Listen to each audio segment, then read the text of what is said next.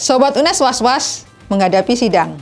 Berikut tiga strategi untuk sukses menghadapi sidang skripsi.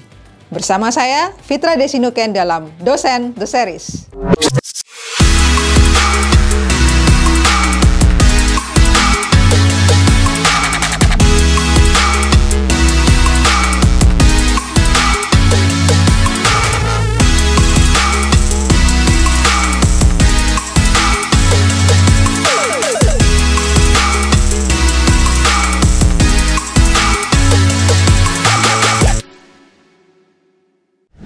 Strategi yang pertama, melakukan gladi bersih untuk presentasi. Gladi bersih yang pertama bisa kalian lakukan di depan cermin. Ketika kalian nanti diwajibkan untuk presentasi 10 menit, maka lakukan gladi bersih di depan cermin juga 10 menit. Tapi untuk memastikan kalian tidak nervous, sebaiknya gladi bersih dilakukan di depan teman-teman kalian. Pastikan bahwa teman-teman kalian adalah teman-teman yang akan memotivasi kalian. Gladi bersih 10 menit. Strategi yang kedua adalah menenangkan diri. Kalian sudah bikin skripsi ini satu bulan, dua bulan, bahkan mungkin satu tahun. Kalian terlibat langsung dan kalian pasti menguasai.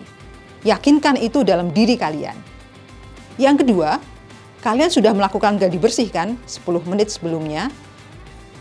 Presentasi dan sedikit mencoba pertanyaan-pertanyaan yang mungkin akan dilontarkan oleh dosen pembimbing.